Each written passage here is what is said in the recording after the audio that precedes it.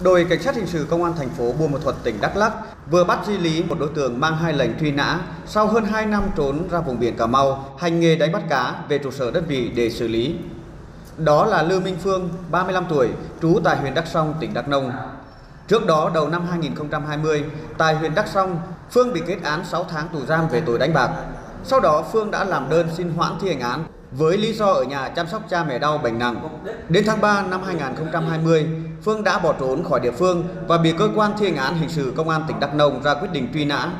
Ngày 2 tháng 3, Phương trốn đến thành phố Buôn Ma Thuột, tỉnh Đắk Lắk, tiếp tục tham gia một vụ đánh bạc dưới hình thức chơi game bán cá ăn tiền và bị công an thành phố Buôn Ma Thuột bắt giữ.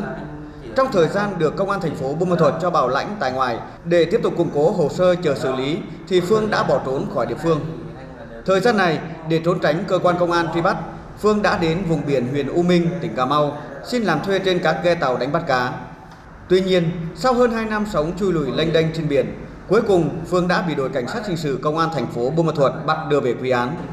Chỉ tính từ ngày 14 tháng 3 đến nay, Công an thành phố Buôn Ma Thuột đã bắt được 7 đối tượng truy nã, trong đó có nhiều đối tượng mang hai lệnh truy nã và trốn đến từ nhiều tỉnh thành.